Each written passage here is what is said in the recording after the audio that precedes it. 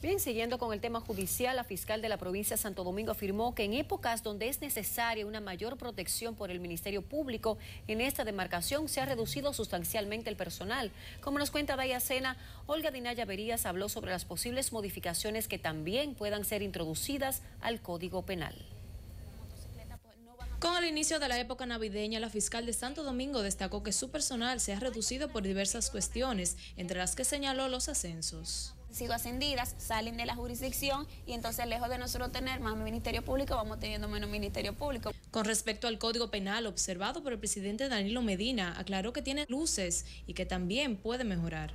Pudiéramos hablar de plazo, pudiéramos hablar de representación legal, pudiéramos hablar de calidad para, para darle seguimiento a procesos, pudiéramos hablar de muchísimo, pudiéramos hablar de competencias. Dinaya Verías reportó un incremento en el número de denuncias de violencia intrafamiliar y de género, pero explicó que esto no afirma que el flagelo haya aumentado. El que más ha denunciado es la violencia física eh, actualmente, tanto en contra de mujeres a nivel intrafamiliar y en contra de, de menores de edad, pero sí la incidencia de delitos sexuales. Durante una entrevista realizada en el programa Enfoque Matinal, expresó que el número de abusos sexuales a de edad es relativamente alto e instó a los padres a fortalecer la seguridad a sus hijos.